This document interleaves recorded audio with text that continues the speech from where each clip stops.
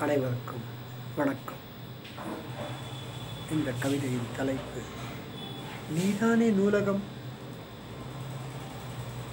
நூலகம் தேடி போனேன். நீதான் என்று தெரியாமல் நூலாய் இழைத்து போனேன். உன்னை நான் காணாமல் நூறு முறை உன் பேர் சொல்லியும் சலிக்கவில்லை திகட்டவில்லை. நூறாண்டு வாழலாம் நூதன முறையில். நன்றி வணக்கம்.